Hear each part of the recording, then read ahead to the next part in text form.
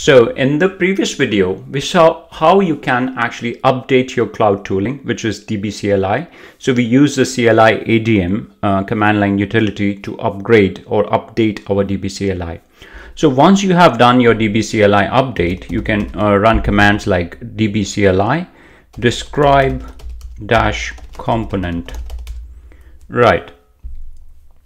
So if we see uh, DBCLI describe component, it will show you what is your level of installed patch version and what is your available version. So if you see here, the grid infrastructure is at 19.9 and available version is 19.10. And our aim with this video is to patch the grid infra but using command line tools. So as I always say, what is not checked is not done. So let's quickly go to our O patch for the grid infrastructure and see what level are we at. So uh, as you know that it is showing 19.9, so it should match to 19.9. Here, as you can see, uh, the, the version that we are uh, seeing is 19.9 and we need to actually patch it to 19.10. Okay, let's go back. So we are back in root and there is a very, very simple command that you can run to actually update your, uh, your grid infrastructure. And that command is db cli update dash server. It can't get as simple as that guys. It's just one simple command and it would be doing a lot of hard work in the background. What it will do is it will actually be performing or patching your grid infrastructure. Yes, guys, it is actually going at the back end, doing the shutdown of the databases and bringing up, let's say, your, your clusterware or the high availability services in terms of grid infrastructure, bringing it down and patching the uh, grid infrastructure, bring it back. But everything is done with one simple command, which is dbcli update. So now when you run this, you'll see that it gives you a job ID it shows the status is created. It shows you the, the timestamp when it was done, and it gives you some kind of description that what patch, um, what exactly are you going to uh, get out of it. So it is server patching and some percentage uh, progress, although you can't always rely on it. Like when I'll, I'll show you, sometimes when you rerun it, sometimes it does show you good percentage, but after some time it gets stuck at around 50, 55%. Uh, but it's always good to just keep, keep an eye on it. So now you once you've done it, I will run a command like list uh, jobs Again, you'll see the job ID that I was getting. Uh, I'll actually be getting that job ID because I'll make use of this job ID to get more details. So guys, here you see this was my previous command, which was dbcli patching. It ran successfully. And now I have started with the server patching. So if you see the server patching, it shows as running at the moment, right? So it is running, but now the question might be, okay, another thing, the job ID here matches to the job ID here, right? Okay, cool. Now the thing is, if you would ask that, okay, I want to see some details about uh, this um, job. So there is another command, dbcli describe dash job. Then you give minus i and you simply give the job ID. So since we are interested in this job ID, I'll simply give this job ID to give me some kind of details. Although guys, in the world of cloud, you might not get uh, what you're looking at in terms of the kind of details you're looking at. But still, it will give you some information what this job is doing and what percentage uh, is, is it at the moment. So here it shows that the pre-operations for server patching has gone fine. It is a success. It has already started uh, running the server patching, which is actually in a running state at the moment. And here you will see some kind of progress meter, as I said, after some time, keep checking and you'll see that the progress might change after some time. Now, again, as I said in previous videos, uh, that uh, it's always difficult to see what's happening in the background, background, but please make use of your data database skills and the skills that we have learned all throughout these years. See, eh, there is a progress percentage of 25%.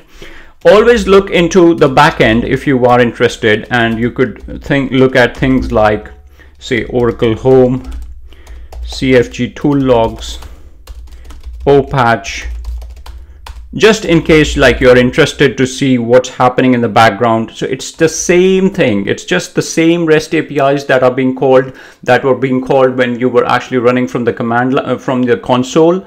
And now also it's the same thing that is happening uh, but through just a simple command which is dbcli update server.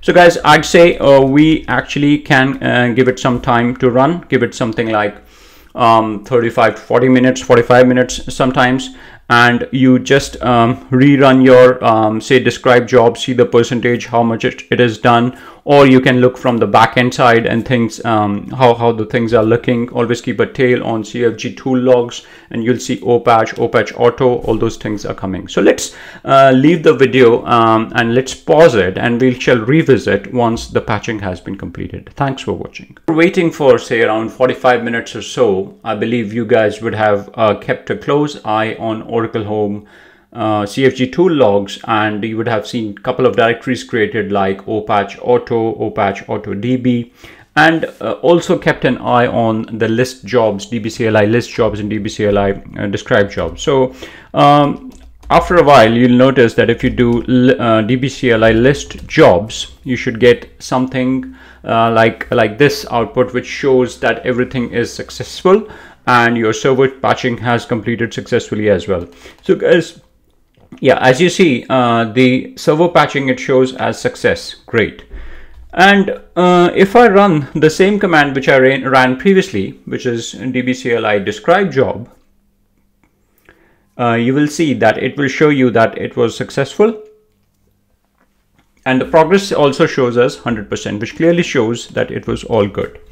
Great. So my mantra what is not checked is not done so now we go back to our Oracle Home for uh, grid infrastructure and see how the patch status looks like. So if I do opatch ls patches, so previously I guess you uh, still remember that it was 19.9 and we are aiming to um, upgrade it or patch it to 19.10. So is it done? Let's take a look. Cool. So as we see here, ACFS release update is 19.10 database release update as part of this it shows 19.10 and rest of which are like more database specific which are 19.9 which uh, which are like OJVM and release updates which are related to the DB release or the database release. But anything which is specific to uh, the uh, grid infrastructure it has been upgraded to 19.10 and yes another command which I'd like to show you is dbcli describe component. You might remember that we ran this command previously and when we ran this command sorry it has to be run using root so we do dbcli describe component. So previously when we saw it you saw that the grid infrastructure was 19.9 and it was showing the available as 19.10 right? But now it should it should sh show you that the grid infrastructure installed is 19.10 right? And it shows the available version up to date which clearly says that yes you are on the latest version and there is no other version above this version which is available with oracle till date so guys, that comes uh, brings us to the end of the grid infrastructure patching. In the next video, we shall take a look how you can actually now patch your database release or your RDBMS version, which is set to 19.9 and we will move it to or patch it to 19.10. Thanks for watching.